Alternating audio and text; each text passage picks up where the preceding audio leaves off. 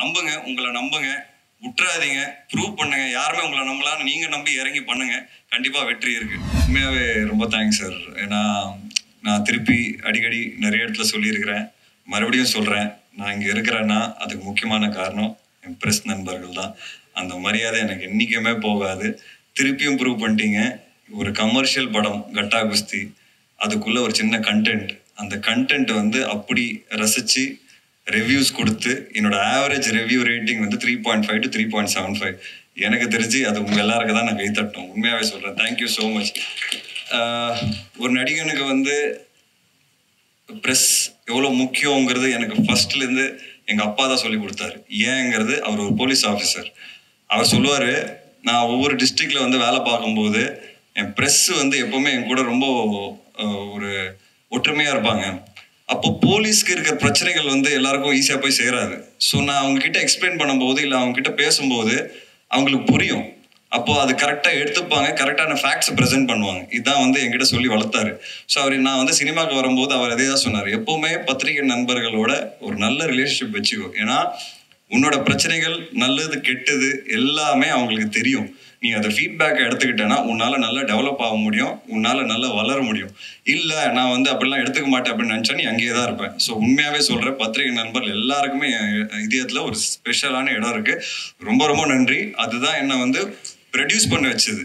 ஏன்னா நான் நல்ல படங்கள் நடிக்கிறேன் அதெல்லாம் ஓகே ஆனால் ப்ரொடக்ஷன் பண்ணுறதுங்கிறது ஈஸி கிடையாது. அது பெரிய ரிஸ்க் எடுக்கிற மாதிரி தான் நான் ஏன் அந்த ரிஸ்க் எடுத்தேன்னா எனக்கு தெரியும். என் படங்களுக்கு நல்ல ரேட்டிங்ஸ் கொடுக்குறாங்க நல்ல ரிவ்யூஸ் எழுதுறாங்க மக்கள் பார்க்குறாங்க அப்போ நான் ஏன் அந்த மாதிரி படங்கள் ப்ரொடியூஸ் பண்ணக்கூடாதுங்கிறதா நான் ப்ரொடக்ஷனே ஆரம்பித்தேன் பிகினிங்ல நான் வந்து ஜாலியாக கமர்ஷியலாக படங்கள் பண்ணணும் தான் பண்ணேன். அதுக்கப்புறம் யோசித்தேன் இல்லை சினிமா மாறுது கண்டென்ட்டுக்கு மாறுது. எல்லாமே கண்டென்ட் ஓரியன்ட் படங்கள்லாம் வந்து பெரிய ஹிட் ஆகுதுங்கும் போது தான் நான் வந்து டிசைட் பண்ணது எஃப்ஐஆர் மாதிரி படங்கள். இப்போ கட்டா குஸ்தி வந்து ஒரு கமர்ஷியல் கலந்த ஒரு கண்டென்ட் எஃப்ஐஆர் வந்து கண்டென்ட் கலந்த கமர்ஷியல் இனிமே வந்து அந்த கண்டென்ட்டுங்கிற வார்த்தையை விட்டுறவே கூடாது அப்படிங்கிறது நான் ரொம்ப ரொம்ப கிளாரிட்டியோட ப்ரொடியூஸ் பண்ண ஆரம்பித்தேன் அண்ட் அதான் அந்த செகண்ட் இன்னிங்ஸ் ஆஃப் ப்ரொடக்ஷன் தான் சொல்வேன் நான். Second innings of my life second innings of me as an actor இது எல்லாமே காரணமே நான் நம்புகிற ப்ரெஸ் தான். திருப்பியும் பார்த்தீங்கன்னா இந்த படத்துக்கும் அதே ப்ரூவ் பண்ணிட்டீங்க. First day கலெக்ஷன்ஸோட second day third day collection வந்து டபுள் ட்ரிபிள் ஆச்சு. ஸோ திருப்பி திருப்பி நான் ஸ்டே ரீஎன்ஃபோர்ஸ் பண்ணுறது என்னன்னா thanks to all of you எல்லாருமே. ரொம்ப ரொம்ப நன்றி. எல்லா ரிவ்யூ படிச்சிருக்கேன் எல்லா ட்வீட்ஸ் படிச்சிருக்கேன் எல்லா ஃபீட்பேக் எடுத்திருக்கேன். Good bad very bad very good எல்லாமே எடுத்திருக்கேன். ஸோ அந்த தேங்க்ஸோட இந்த இதை ஆரம்பிச்சிடுறேன். சின்னதாக தான் பேசுவேன் இதுக்கப்புறம் ரொம்பலாம் கிடையாது.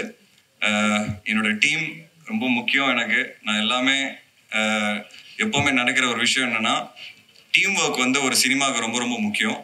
அந்த விதத்தில் இந்த டீம் எனக்கு ரொம்ப ஸ்பெஷலான டீம் ஏன்னா காளி அண்ணா சொன்ன மாதிரி ஜஸ்டின் சொன்ன மாதிரி சின்னதாக கூட டைவர்ட் ஆனோம்னு வச்சுக்கோங்களேன். இது ஒரு காமெடி படமாக மாறி இருக்கும். இல்லை ஒரு ரொம்ப சீரியஸான படமாக மாறி இருக்கும். அதோட பேலன்ஸ் கொண்டு வரதுங்கிறது மிகப்பெரிய சேலஞ்சாக இருந்தது. அந்த விதத்தில் எனக்கு தெரிஞ்சு இந்த டீம் கொடுத்த இன்புட்ஸ் அவங்க கொடுத்த பர்ஃபார்மன்ஸாக இருக்கட்டும் டெக்னிக்கல் இன்புட்ஸாக இருக்கட்டும் ப்ரெசன்டேஷன் இருக்கட்டும். எல்லாருமே ரொம்ப மெனக்கெட்டு அந்த அந்த ஃப்ளேவரை கெடுக்காமல் இருந்தாங்க. ரொம்ப இன்ஃபேக்ட் அந்த ஃப்ளேவரை வந்து பயங்கரமாக என்ஹான்ஸ் பண்ணியிருக்காங்க ஸோ அந்த டீமுக்கு ஃபர்ஸ்ட் ஆஃப் ஆல் ரொம்ப ரொம்ப நன்றி. நான் இண்டிவிஜுவலாக அவங்ககிட்ட தனியாக சொல்லிக்கிறேன். எனக்கு மிகப்பெரிய சப்போர்ட்டாக இருந்தது வந்து அன்பரி மாஸ்டர் ஏன்னா நான் சார்பட்ட பரம்பரை படம் பார்த்துட்டு இந்த மாதிரி கலரில் எனக்கு வந்து ஸ்போர்ட்ஸ் வேணும் அந்த படத்துக்கு அப்படி தான் ஆசைப்பட்டேன். நான் மாஸ்டருக்கு வந்து ஃபோன் அடித்து மாஸ்டர் இந்த மாதிரி ஒரு படம் இருக்குது நீங்கள் பண்ணலன்னா நான் இந்த படமே பண்ண மாட்டேன் அப்படின்ட்டேன். என்ன எப்படி சொல்றீங்கன்னா இல்லை மாஸ்டர் இது வந்து ஒரு ஜாலியான படம் தான் அதுக்குள்ள ஒரு ஹஸ்பண்ட் ரிலேஷன்ஷிப் வந்து ஒரு முக்கியமான ஒரு ஒரு பங்கா இருக்கு. பட் ஸ்போர்ட்ஸும் வந்து எனக்கு ரொம்ப ஆத்தென்டிக்கா வேணும் அப்படின்னு. அப்போ அவங்க ஓகே கதை கேட்குறோம்னு சொன்னாங்க. கதை கேட்டுட்டு அவங்களுக்கு ரொம்ப பிடிச்சது. உடனே ஓகேன்ட்டாங்க அவங்க பயங்கர பிஸியாக இருந்தாங்க அந்த டைமில் பட் ஒரு நாள் கூட அவங்கனால எனக்கு டிலே வரல. ஸோ ஃபஸ்ட்டு முக்கியமான காரணம் அன்பரி மாஸ்டர் ரொம்ப ரொம்ப தேங்க்ஸ் அவங்களுக்கு. ஏன்னா இன்னைக்கு வந்து ரொம்ப ஆத்தென்டிக்காக இருக்கு பார்க்கும்போது அப்படின்னு நிறைய ரிவ்யூஸில் படித்தேன் ஸ்போர்ட்ஸு அதுக்கு காரணம் வந்து மாஸ்டர்ஸ் தான். நான் வந்து இந்த படம் ஏன் ப்ரொடியூஸ் பண்ணேன் அப்படின்னு கேட்டிங்கன்னா எனக்கு அந்த தாட் ரொம்ப பிடிச்சது. ஆண் பெண் ஒன்று ஒன்றுங்கிற ஒரு தாட் இருக்குல்ல அது ரொம்ப பிடிச்சது. அவங்களோட ட்ரீம்ஸ் வந்து நம்மளும் சப்போர்ட் பண்ணோங்கிறது அந்த அந்த அந்த கருத்து ரொம்ப பிடிச்சது எனக்கு. அதனால தான் இதை ப்ரொடியூஸ் பண்ணுறதுக்கு ஒத்துக்கிட்டேன். அண்ட் அதனால தான் நான் நடிக்கும் ஒத்துக்கிட்டேன்.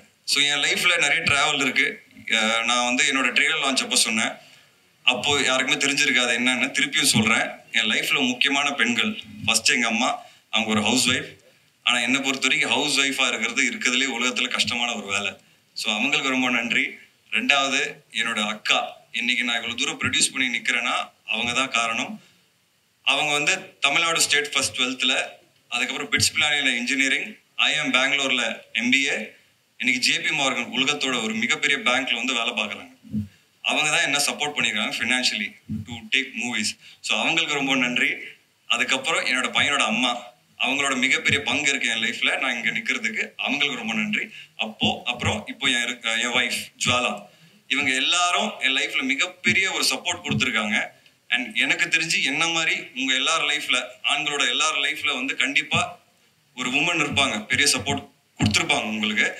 அது முன்னாடி வச்சு ஒரு படம் பண்ணுங்கிறத நான் ஆசைப்பட்டேன். அதான் கட்டா குஸ்தி ஸோ ரொம்ப சந்தோஷமா இருக்கு. இந்த எந்த எண்ணத்தோட நான் இந்த படம் பண்ணனோ அது வந்து சூப்பரா போய் சேர்ந்துருக்கு மக்களுக்கு. ஏன்னா நான் ஃபர்ஸ்ட் ஷோ வந்து மதுரையில் மதுரையில பார்த்தேன். பயங்கரமான ஒரு ரெஸ்பான்ஸ் நிறைய பெண்கள் வெளியே வந்து கொஞ்சம் வயசானவங்களாம் என்ன வந்து தம்பி சூப்பரா எடுத்திருக்குப்பா எங்களுக்காக. அப்படின்னு ரொம்ப சந்தோஷப்பட்டாங்க. யாருமே இந்த மாதிரி எடுத்தது இல்லைப்பா ரொம்ப பெருமையா இருக்குப்பா. ரொம்ப சந்தோஷப்பா அப்படின்னாங்க. அந்த ஃபர்ஸ்ட் ஷோவே எனக்கு ரொம்ப ஹாப்பியாக இருந்தது. அதுக்கப்புறம் ரிவ்யூஸ் படிக்கும் போதும் எல்லாருமே அதை மென்ஷன் பண்ணாங்க. இன்ஃபேக்ட் நிறைய பேர் எனக்கு கால் பண்ணி எப்படி இந்த படம் ஒத்துக்கிட்டீங்க? ரொம்ப ஆச்சரியமாக இருக்கலாம் சொன்னாங்க. பட் எனக்கு என்னன்னா ஒரு நல்ல படம் பண்ணோம். அவ்வளோதானே அது எல்லாருக்கிட்ட போய் சேர்ந்தா சந்தோஷம் தானே அது அது வழியாக ஏதோ ஒரு மாற்றம் நடந்தால் நல்லது தானே நேற்று எனக்கு வந்து ஒரு கிரிக்கெட்டர் ஃபோன் பண்ணாங்க உமன் கிரிக்கெட்டர் அவங்க வந்து இப்போ ரிட்டையர் ஆயிட்டாங்க. அவங்க ஃபோன் பண்ணி என்கிட்ட ஒரு பத்து நிமிஷம் பேசினாங்க. என்னன்னா ரொம்ப அழகா காமிச்சிருக்கீங்க.